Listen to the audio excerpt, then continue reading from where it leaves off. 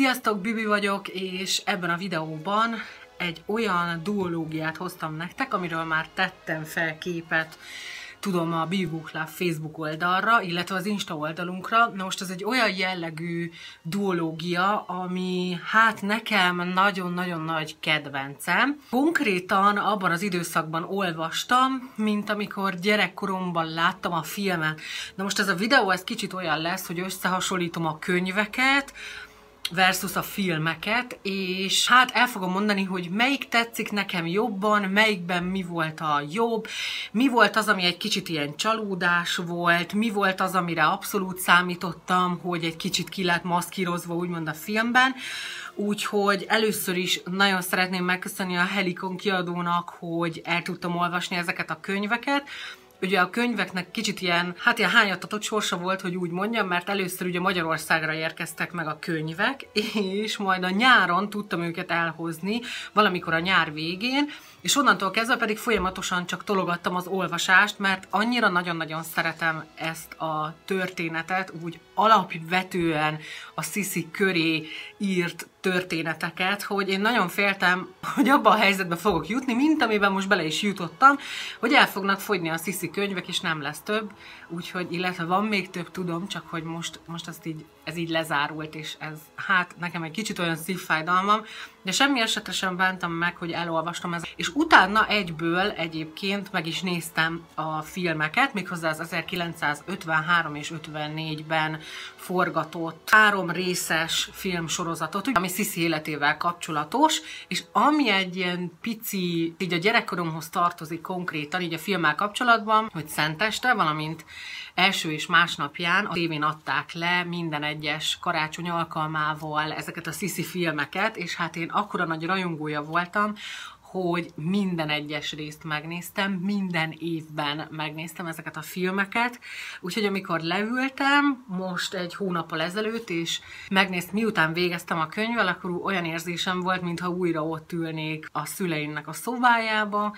és miközben fát díszítünk, közben megy a Sisi film, és hát nagyon-nagyon jó volt. Nagyon szép emlékeket és jó érzéseket hozott ki bennem, úgyhogy semmiképpen sem bántam meg, hogy ezeknek így nekiálltam. Úgyhogy nem is húzom tovább a szót, megmutatom a könyveket. Ugye Alison Pataki, ugye Sisi 1 és Sisi 2, ugye az ifjú császárné, az első része, és a birodalom úrnője a második része. Ezeket a könyveket sikerült ugye nem régiben elolvasnom. Most le fogom szedni a borítóját, ami egyébként fantasztikus, hogy van egy ilyen védő borítás rajta, és alatta sincs más borító, amivel egyébként ugye lehetett volna rossz tapasztalat is, de szerencsére nem volt. Na most, ugye Elison Pataki édesapja ugye magyar származású, és ennek kapcsán gondolta úgy, hogy ő kicsit beleássa magát így ebbe a Sisi történetekbe, és egy kicsit, hát így elkezdett kutatni. Na most szerintem Sisivel kapcsolatban ugye Erzsébet, Magyarország királynéja, és ugye Ausztria császárnéja, a neve szerintem mindenkinek ismeretes, ugye ő Ferenc Józsefnek volt a felesége, a magyaroknak pedig ugye tündér királynője volt, tehát nagyon szívén viselte a magyarok sor, sorsát, na és akkor, ha a Sziszinek a nevét meghalljátok, akkor szinte mindenki tud róla egy-két információt elmondani, ugye többek között a ködöllői kastélya kapcsolatban, vagy például szerintem még azt is nagyjából mindenki tudja, de aztán majd kijavítotok, hogy ugye a haja az ilyen hatal, tehát hatalmas nagy haja volt, és nagyon nagy gondot fektetett arra, hogy az ilyen csodálatos legyen mindig, tehát az volt az ő vonzereje, ahogy ő saját magáról mondta. Ezzel kapcsolatban én már olvastam korábban több művet is, tehát hogy ilyen tojást rakott a hajára, meg ilyen különböző pakolásokat, meg minden, és attól volt olyan csodálatos, és azt hiszem, hogy több mint ezerszer kellett de ezerszer minimum kellett naponta fésülnie a haját ugye a cselédnek, aki ugye a hajával foglalkozott csak kizárólag. És hát szerintem ezek nagyon érdekes dolgok, úgyhogy mindenképpen nézzetek majd utána. Először is elmondanám, hogy az első résszel kapcsolatban, hogy hát nekem mindkét rész nagyon-nagyon tetszett, és mindkettőben volt egy olyan pont, amire azt mondtam, hogy na ez lesz a kedvencem. Az első részben nekem hatalmas nagy kedvencem volt az, ahogy ugye Sisi szerelembe esett Ferenc Józseffel, ami érdekesség a történelemben, hogyha egy picit bele látunk, vagy ha egy picit ugye van információnk arról, hogy többnyire érdekházasságok mentek ebben a korban, ugye ez a 19. század eleje közepe. Ugye nekik egy kifejezett ketten nem érdekházasságok volt, és érdekkapcsolatuk, hanem bizony ez egy szerelem házasság volt, ami így kifejezetten megadja a pikantériáját így a történetnek. Ami nekem nem tetszett, megmondom őszintén, így az első részben, meg a másodikban sem, de a másodikban már talán annyira nem jött elő, az pedig az, ahogy Zsófia hercegnével kapcsolatban történtek dolgok. Na és akkor itt jön be az, ami nekem kifejezett ketten, hát, hogy is mondjam, a filmben nem nagyon tetszett, az pedig az édesapjáról alkotott kép. Na most valószínűleg én úgy gondolom, hogy egy kicsit túl lett cifrázva a filmben, tehát ugye azért 1954, 53, 54-ben, hogyha valaki egy ilyen képet festett volna Zsófia főhercegnél, az lehet túl negatívan hatott volna. Valamint, ha egy picit belegondolunk, akkor ugye osztrák, német és osztrák nemzetiségű maga a film, és ilyen tán, talán én úgy gondolom, hogy pont ezért is lett egy kicsit ugye megszépítve ez a dolog. Ellentétben a könyvvel, ahol pedig szerintem túlságosan is, hát túlságosan is drasztikusan állította be Zsófia főhercegnét. Volt egy olyan pont, amikor már úgy éreztem, hogy igen, most egy kicsit Sziszinek is megváltozott a véleménye egy az anyósával kapcsolatban, aki egyébként ugye a nagynénye volt, de valahol egy picit eltúlzott volt, és olvastam utána értékeléseket, és nagyon sok mindennel nem értettem egyet, de azzal egyet értettem teljesen mértékben, hogy talán túlságosan állatiasnak, igen, tehát így az étkezési szokásai, a viselkedése, tehát nem gondolnám, hogy egy ilyen pozícióban élő hölgynek ez a viselkedés. Teljesen mindegy, hogy az udvar melyik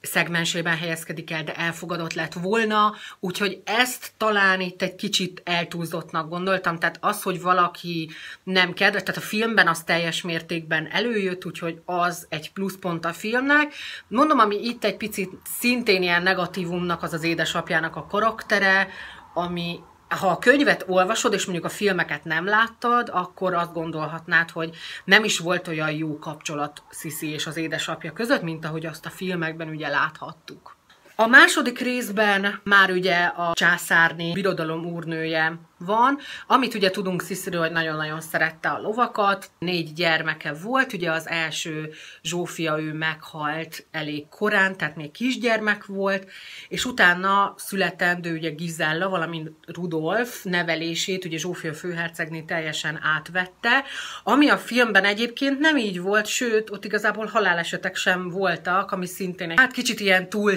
színezett, túl szépre színezett volt, én úgy gondolom. Na de itt a könyvben teljesen lehet látni azt, hogy a gyerekeknek a sorsa hogyan alakul, és ugye amikor megszületett a negyedik gyermeke, akkor ő úgy döntött, hogy az ő nevelését nem szeretné, hogyha elvenné az anyósa, és ezért Magyarországra költözött. Na most Andrási Gyula gróffal kapcsolatos érzelmeiről én úgy gondolom, hogy akár meg is állhatnák a helyét, de hogyha csak olyan szinten maradunk, hogy ők nagyon-nagyon jó barátok, voltak is teljesen elégedett lehet az olvasó. Akár a filmet nézzük, a film kicsit hiányos ilyen szempontból, de ha a könyvet nézzük, akkor szerintem teljes mértékben. Én mindenképpen azt mondom, a vége nekem fantasztikus volt, az hát ott igazán megkönnyeztem. Na most, ha jól emlékszem, akkor van egy későbbi film, ahol, ahol már a halálát is beleveszi a Sziszinek, így a történet folyamata, viszont az 1953-54-es az olasz megegyezéssel ér véget a harmadik résznél, és hát ott főleg Sziszinek, tehát ilyen nagyon sablonosan, tehát így, így az udvarra helyeződik rá. Én ezt tudnám mondani, hogy a film az inkább az, az osztrák kultúrát és, és az osztrák birodalom nagyságát, valamint ugye a csodálatos zenékkel próbálja ezt, hát hogy is mondjam, kiszépíteni. Ugye aki látta a filmet, és tudja, hogy Lajos milyen szerepet játszott benne, például az is a könyvekben teljesen másképp jön le. Arról nem is beszélve, ja, a, a legnagyobb meglepetésem az az, hogy a filmekben úgy ér véget a Ugye úgy van, úgy van az eredeti történetben, hogy nem Erzsébetet szánják ugye Ferenc József párjául, hanem a nővérét szánják Ferenc Józsefhez. A könyvben teljesen jól. Én úgy gondolom, hogy ez hihetőbb, hogy forrásokra alapozva, talán ebben nem volt annyi fantázia, mert azért azt hozzá kell tenni, hogy egy kicsit ki egészítgette maga az írónő, tehát én nem azt állítom, hogy száz százalékig így történtek a dolgok, A filmben viszont azt mondja, hogy a nővére igenis szerelmes volt Ferenc Józsefbe, és hatalmas nagy csalódás volt neki az, hogy nem őt vette el feleségül. Na most ez itt érdekes, tehát ami, ami itt, és, és itt, itt a testvéreket is végig lehet követni, hogy kivel mi és hogyan történt. Elég sok tragédia volt az életében, nagyon sok boldogság volt, és még több lehetett volna, ugye, hogyha nem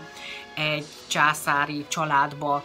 születnek bele. Én úgy gondolom, hogy a szerelem örök, és amikor a végéhez eljutottam, és és ott olvastam, hogy igen, visszatérek, és csak veled leszek, és stb. Akkor utána én olyan szintű fájdalmat éreztem, hogy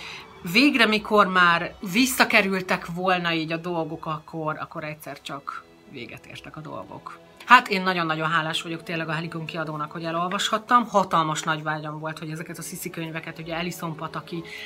Sziszi könyveit elolvashassam. Nem volt csalódás, abszolút nem volt csalódás. Mondom, voltak részek, amik, amik inkább úgy mondom, hogy arcul ütöttek, tehát én teljesen másként gondoltam volna ezeket a kapcsolatokat, úgyhogy ezek talán egy kicsit ilyen arcul csapások voltak, de alapvetően maguk a könyveket nagyon könnyen lehet olvasni, szép fehér lapjai vannak, tehát nagyon jól láthatóak is. Én abszolút elégedett vagyok mindkettővel, mindkettőre öt csillagot adtam, és azt mondom, hogy történelem szerelmesek, sziszi szerelmesek, azok mindenképpen fogják kézbe, és nem fogják megbánni, és pillanatok alatt el lehet olvasni. Hát igen, ez most így véget ért, úgyhogy hatalmas nagy szívfájdalmam, hogy a sziszi könyvek ezennel így véget értek, de úgy gondolom, hogy a jövőben fogok még keresni sziszi könyveket. Úgyhogy ha tetszett a videó, akkor nyomjatok egy lájkot, ne felejtsétek el kommentben nekem megírni, hogy mi a véleményetek, akár így a korral kapcsolatban, akár a könyvekkel, hogyha valaki olvasta a könyvekkel kapcsolatban, és ne felejtsétek el, hogy iratkozzatok fel a csatornára, és olvassatok sokat, olvassatok idegen nyelven, és hamarosan találkozunk egy újabb videóban. Sziasztok!